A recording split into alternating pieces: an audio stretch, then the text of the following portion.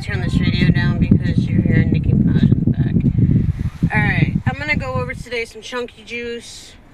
I don't have a lot of time to do anything, so I figured I might as well do it in the car while right before I go into the doctor's office.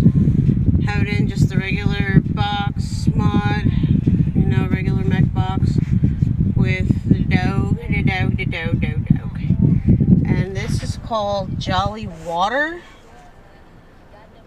from Chunky Juice. I'll put their website and everything below. It's made by Jessica Avila and Ricky Avila. So, so far their juices have been pretty point on with their flavor, you know, whatever they say it is. They've been pretty spot on with their juice um, flavor profiles. So let's give this a hit and I'll tell you a little bit about it.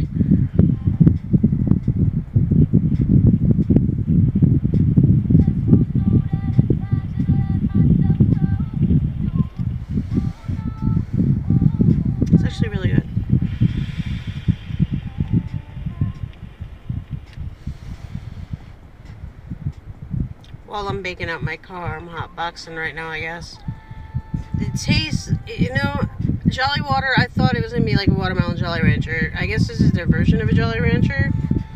I get the full watermelon, which is awesome. I don't get the bitterness like you would when you're sucking on the watermelon Jolly Rancher, but it's pretty close. It is very nice, no throat hit, which I like.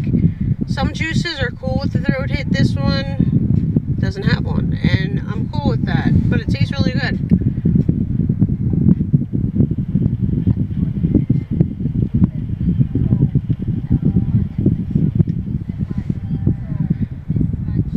Yeah, definitely watermelon to the T. Definitely has that candy watermelon flavor to it, which is really nice. I like that a lot. I'm gonna upload this probably midday, and then I'll have another one up tonight because I have so much to get through, and I promised three companies I get them done. So this is from Chunky Juice by Jessica Avila Ricky Villa. I'll give you the website. I'll give you where you can find me on Facebook. Emma Waffles Addiction is where you can also find me. Um, all that other good stuff where you can find them on Facebook and all that other stuff too. So if you enjoy, hit the like button. I really don't give a shit if I have numbers or not. But I appreciate you guys watching. I hope you continue watching because I always have something different. Alright guys. Love you guys, baby bunny out.